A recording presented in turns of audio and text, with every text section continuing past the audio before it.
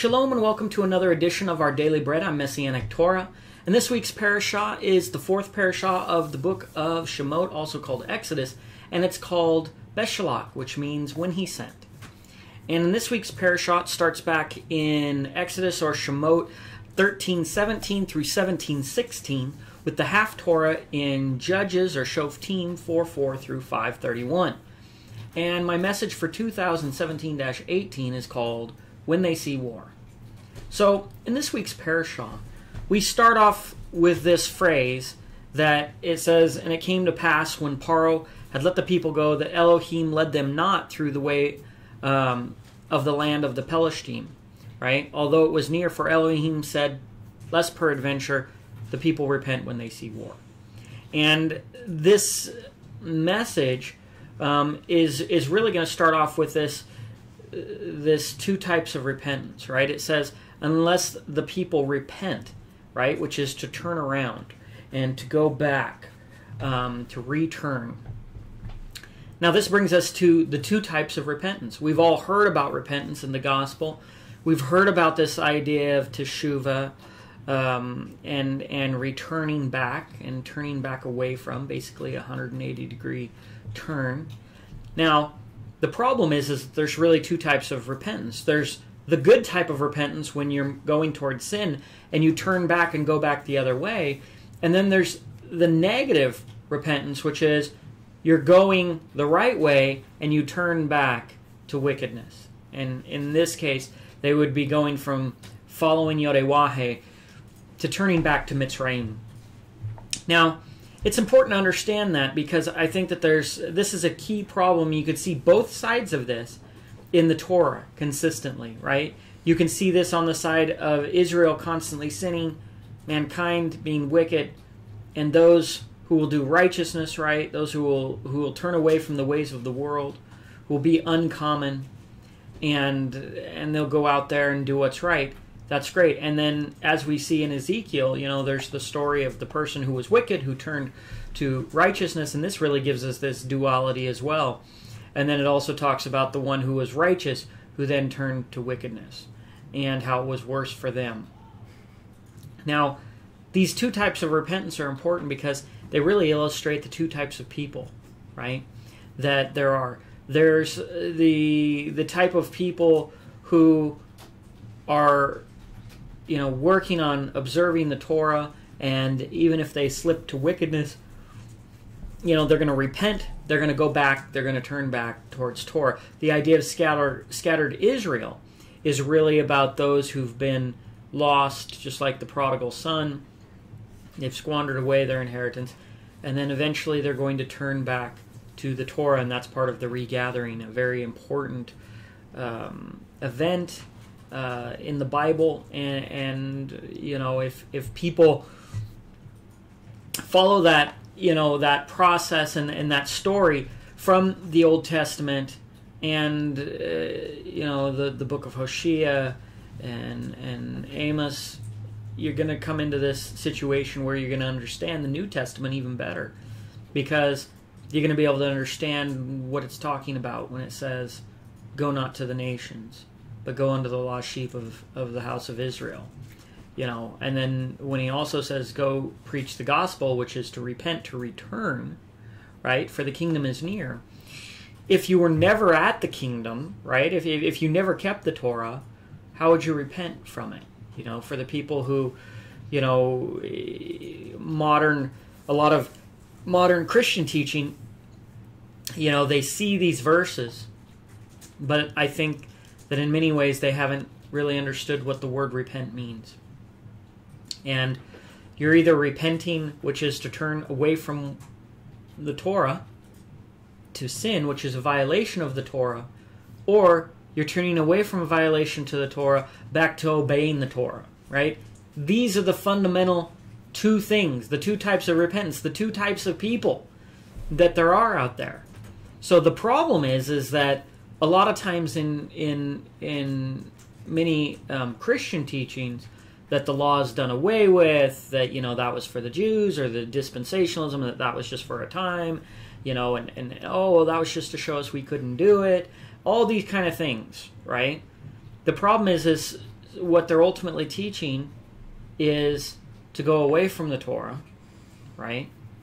And and a violation of the Torah, whether it's not keeping Shabbat or not eating kosher or whatever it is, um, is is a turning away. Especially if you're saying, "Well, I'm following God" or "I'm following the Messiah," but I'm going to turn away from the Torah.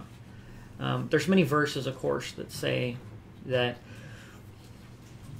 you know people who who who, who do that they, they you know they're liars and, and there's no uh, light in them right? And the people who say you know they believe but they don't keep the law or the people who say they love you know him and, and don't keep the torah.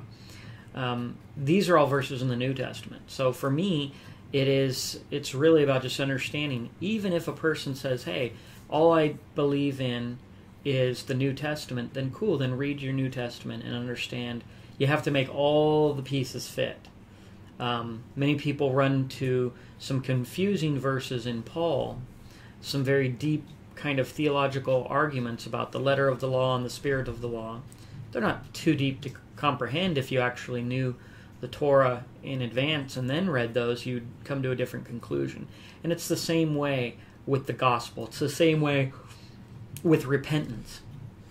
If you understand what repentance is, you understand the function of repentance, then in order to do as both John the Baptist and Messiah were teaching when it says to repent, that was the main message of the gospel, for the kingdom is near.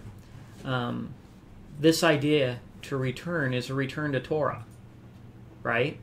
The only other thing a person could get out of that is to repent from doing good, turn away from observing the law.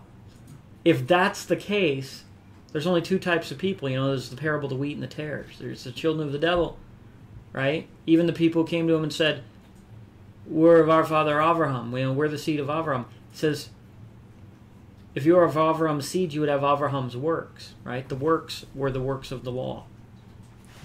He said, You're of your father, the devil, right?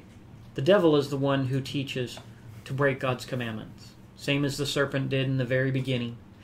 Um, you know, God gave his commandments to his children, and then a serpent came along and said, Surely you won't die. So, first, knocks out the fact that there won't be a punishment.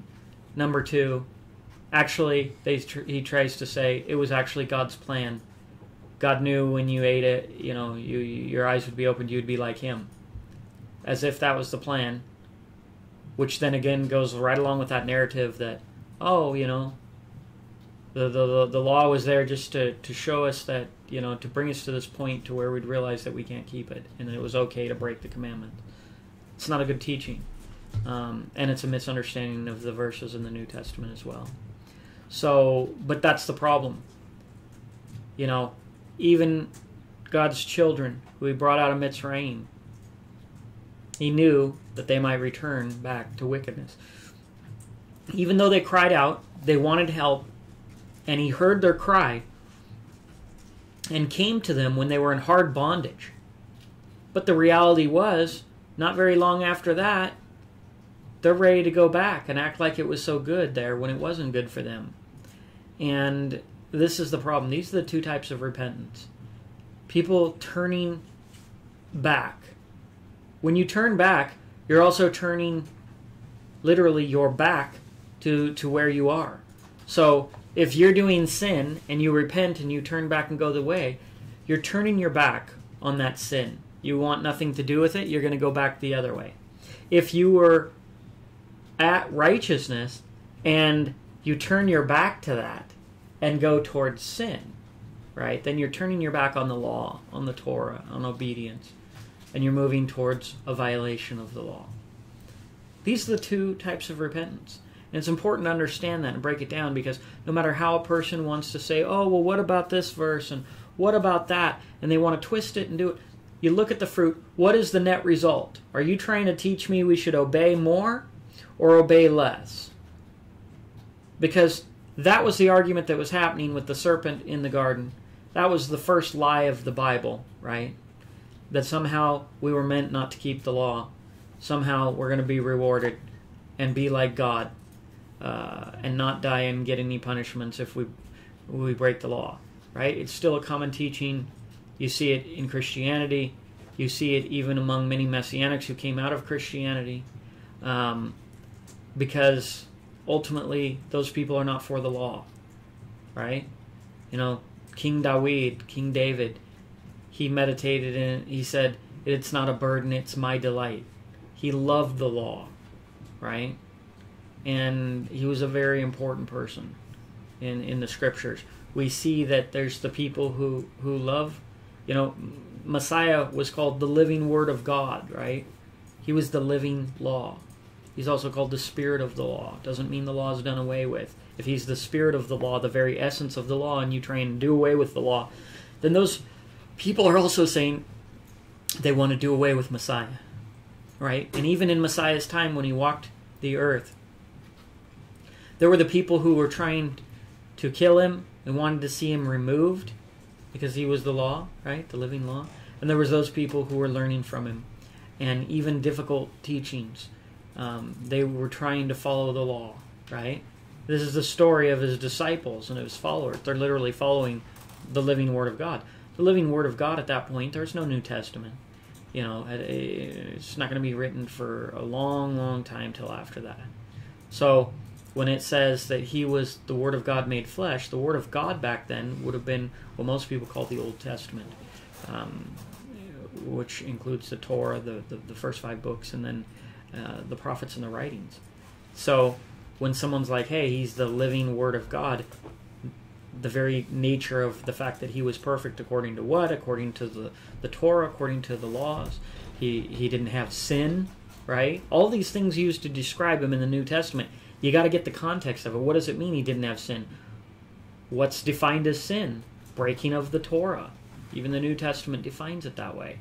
A transgression, sin is the transgression of the law. Therefore, if he didn't have sin, he was never a transgressor of the law. So a lot of people, they even try and say, "Oh, look here, he."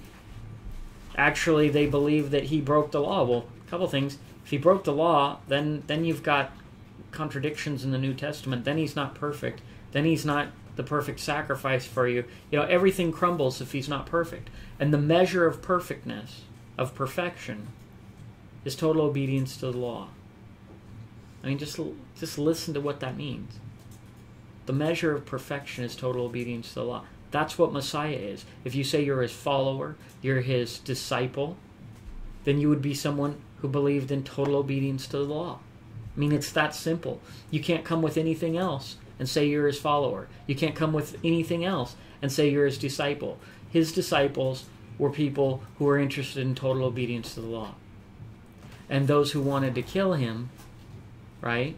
Even some people say, "Oh, the Pharisees, they were do they were the total keepers of the law. No, they weren't. They were keeping their religion.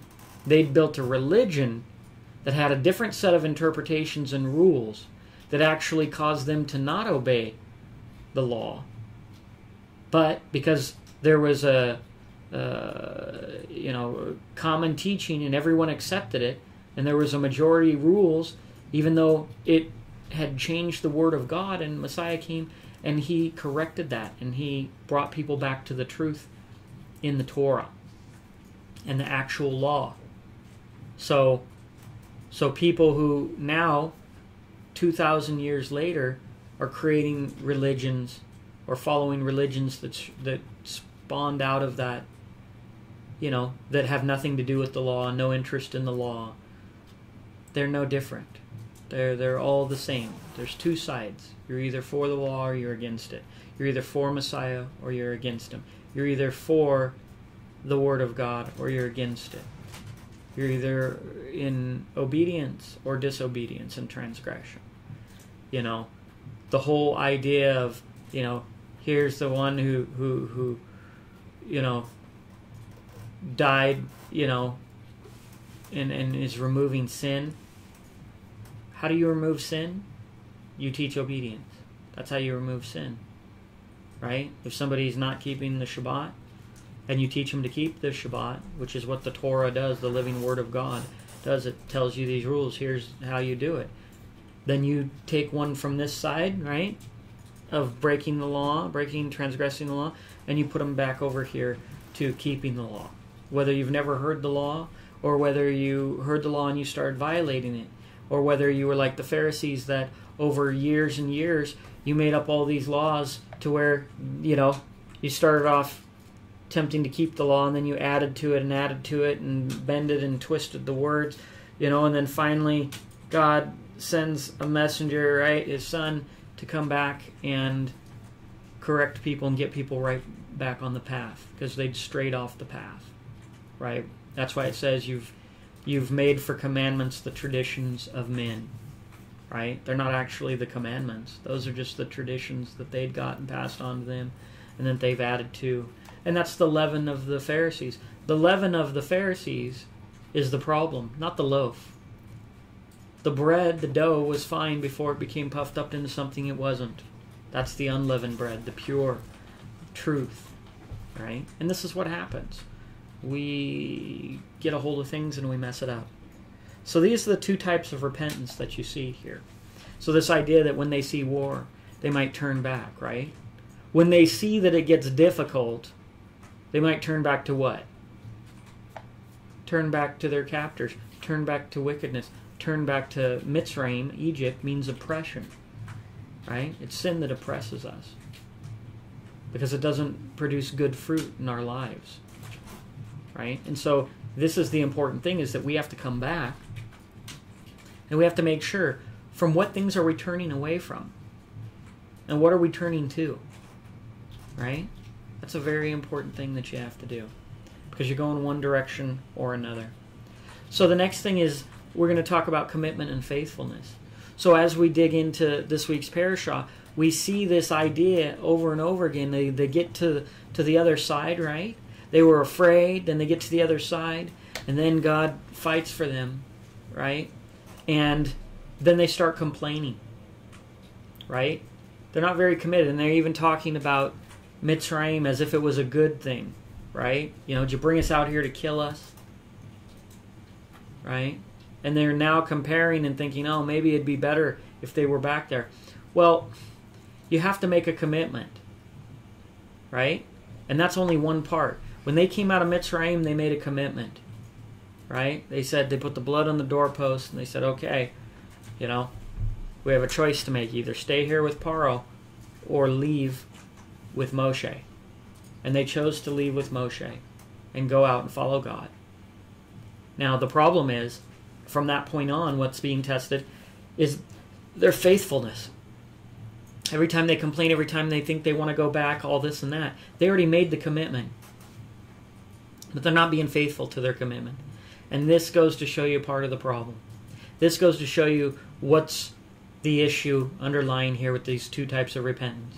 Right? It's great to repent and turn away from evil and quickly return to what's good.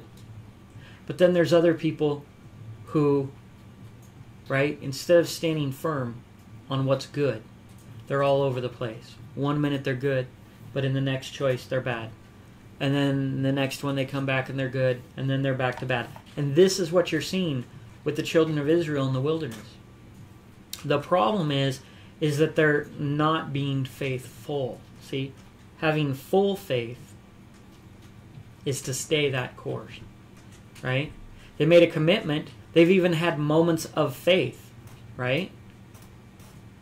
But they're not faithful. Faithful is a different story. You might you might get in a marriage, you might you might love that person, you might say I do. And then, you know, 2 years later the guy's running off with his secretary. He made a commitment. He even had many moments of faith, but he wasn't faithful, right?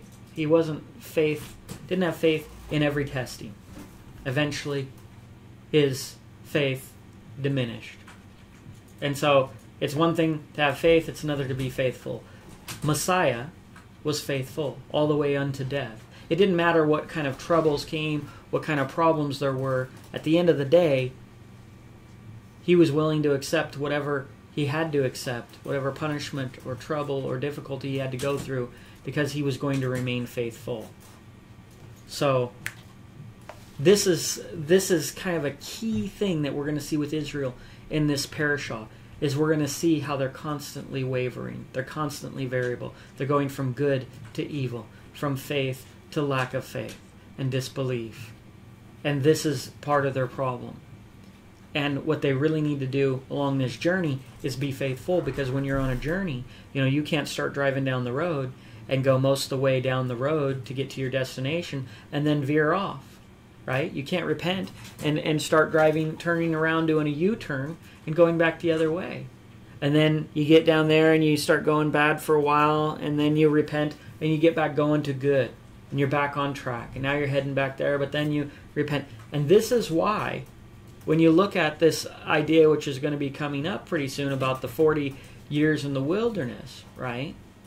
That's going to match this opening verse when he says he didn't bring them straight through to the eh, through the land of the Palestine because they might see war and repent and turn back. So they're going around and around. They need time to develop the type of strength that it takes to be faithful, to be able to get all the way to the finish line. Because if you keep sabotaging yourself, you keep taking two step forward, one step back, one step forward, two steps back, then you're getting nowhere. You have to put a string of victories together. And that's what Messiah did. Messiah was faithful, and that was one of the greatest things about him. Is that he no matter what came at him.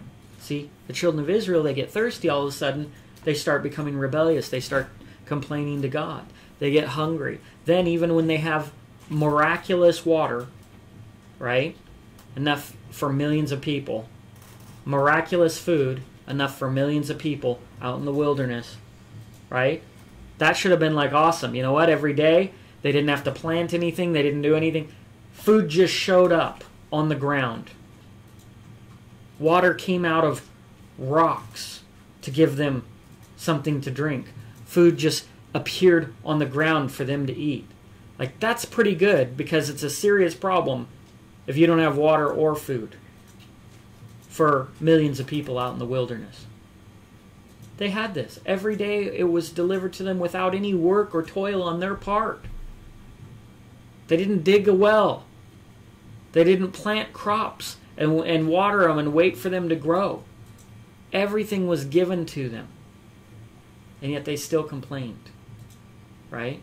And that goes back to the same saying that, you know, when you've eaten and you're full, then you'll forget me. So then they're complaining about meat.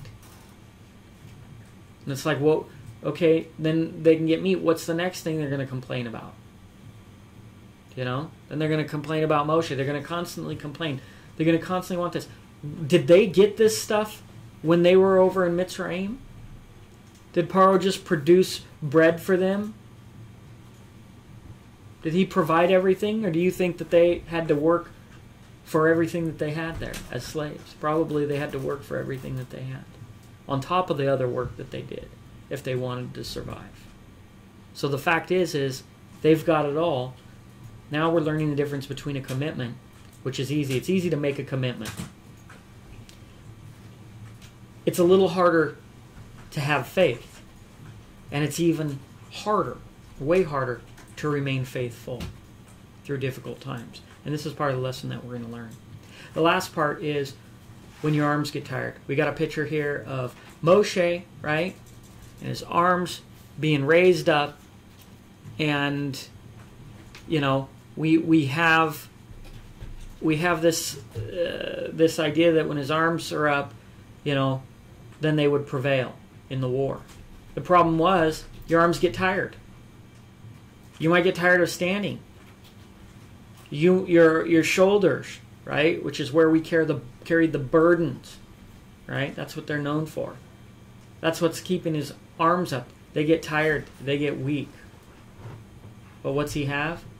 He has his support, his friends who will hold up his arms. Because at the end of the day, you still got to do it even when it's difficult. It'd be easy to just lift up the arms one time and say, okay, cool, that's good for everything. But it isn't. It's this ongoing thing. And that's the same thing when we see in Christianity. You know, they'll say a sinner's prayer. You know, they'll raise their arms up once. They'll humble themselves, realize, hey, what I'm doing is wrong. And they'll raise their arms up once, and then they want to be one and done. But that's just not the way it goes. That's a commitment, but that's not faithfulness. Right? And then to make a commitment and then turn away from what's good and righteous, which is obeying the law, and going back to to being a breaker of the law, then that commitment ends up not meaning anything. And that's the key. You want your commitment to be backed up with faith, and you want your faith to endure into faithfulness. This is the problem. This isn't easy. This is ongoing. You're going to get tired. Your shoulders are going to burn. The burden is sometimes going to be very difficult. You may lose your job because you want to observe the Sabbath. I've seen people before, oh, well, you know, it's easy when, you know, their boss didn't care, they were going to let them off on the Sabbath. But when their boss calls up and says, hey, we need you to work on the Sabbath, and then they're going, oh, well, you know what? God wouldn't want me to lose this job, right? Wouldn't want me to have to struggle. Wouldn't want my arms to burn. So surely he didn't mean I had to hold my arms up. Yeah, sometimes you got to hold your arms up. Sometimes it's going to burn. Sometimes it's going to hurt to obey God. Do you think Avraham, when he was told to sacrifice Yitzhak, thought, hey, that's such an easy thing, no problem? Or do you think that was a very difficult thing? You see, there's many times, you know, many people who have died and suffered greatly in order to do God's will, in order to obey God's commandments. And so don't just assume that, you know, we'll just do it when it's easy. Because there's work involved, there's effort that's involved, there's going to be scary times. And you don't want to be that kind of follower that is, you know what, when we see war, you know, we're going to turn around and we're going to go back away from God. You know, when it gets difficult, when it's just so much easier to not eat kosher or to not worry about the Shabbat. I've seen people, I've seen messianics come and go. I've seen them come in, and they were all zealous, and then they get to the point they're not keeping the Shabbat, they're not really eating kosher anymore, and they just slip back into the ways of the world because it's so easy and it's so look, you know, it's it's just like homeschooling your kids. That ain't easy. Being responsible is not easy. Being responsible for others, that's not easy. Being accountable for results, it's not easy. It takes more time. You still have all the work that everybody else does. Plus, now you're teaching your children. Where before you were just shipping them off to let somebody else do that. And so you had, you know, me and my, my wife were talking about this the other day. There's, you know, the stay at home moms who are stay at home mom, moms, yet they still send their kids off to school. Like, I could see if they were trying to have two incomes. But if you're not doing anything and you still don't want to raise your kids, that doesn't make any sense to me. It's hard. And it's even harder for others. it's hard when people were used to having two incomes and they got to go down to one income. And then they're going to homeschool their kids. And that part's not easy either. Because now a mom's taking care of all the kids, taking care of the house, doing all the same work that she would normally do. But on top of that, she's also having to be a teacher to every one of the kids and make sure that they're learning. You know, it's it's it's no different than anything else. When you make a commitment, yeah, you might not get that job because they want you to work on the Shabbat. Too bad. You have a harder time finding a job? Maybe too bad. Oh, you might have to lose your job? Too bad. Then it's not the right job for you. God can provide for you. It's the same way. It's like saying, well, I don't want to leave Mitzrayim because we're going out into the wilderness. And what if there's no water there? Look, if God brings you out of Mitzrayim or Egypt, He can also provide you water. He's not going to bring you out there to die. You know, but you will be tested. You will get thirsty. as as it says in the scriptures, it says he humbled them with thirst, right? And hunger. And all this in the wilderness. It says to see if they would obey his law or not. It didn't say your belly will never be hungry, your tongue will never thirst. It's going to thirst. And that's going to be a test. Your arms are going to get tired. And that's going to be a test. But what's the outcome? What's the final outcome? Did you keep your arms up, even if it meant you had to have people holding up your arms? Because you were told to raise up your arms so that Israel would prevail? That's the kind of commitment and the faithfulness that is required. Get all the way to the end. I hope you enjoyed this message. Hope it was a blessing for you. Thanks for spending some time with me. Um, if you like the video, leave leave a like, uh, share it, whatever. Uh, comment. Love to hear your comments on it. Hope it was encouraging and yet challenging to you. And until next time, I'm going to say shalom.